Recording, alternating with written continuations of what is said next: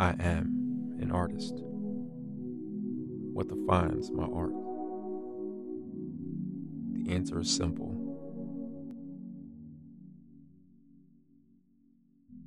I am my own definition that needs not to be understood by anyone but myself. I am an artist.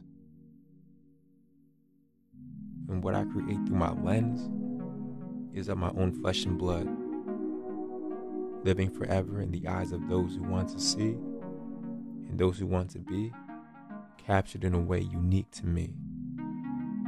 I am an artist. I am and will always be me.